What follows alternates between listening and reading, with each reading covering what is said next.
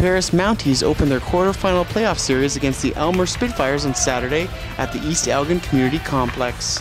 The game was scoreless until 14:58 into the first period when Aylmer's Josh Hunsinger potted a goal against Paris netminder Lee Doherty.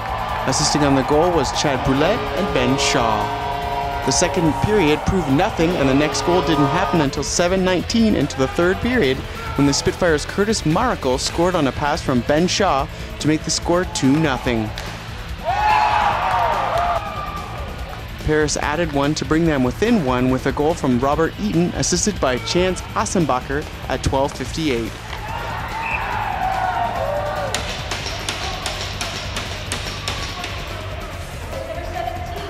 Aylmer restored the two-goal lead less than two minutes later when Koy Kulich scored. He was assisted by Scott Mugford and Ben Shaw.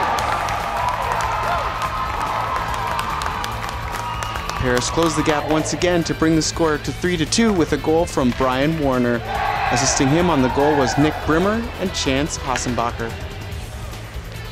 Aylmer regained the two goal lead again at 18 16 of the third with a goal from Will Cook, assisted by Scott Mugford.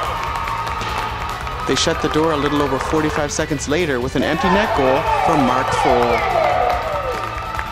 Aylmer won the game 5 to 2.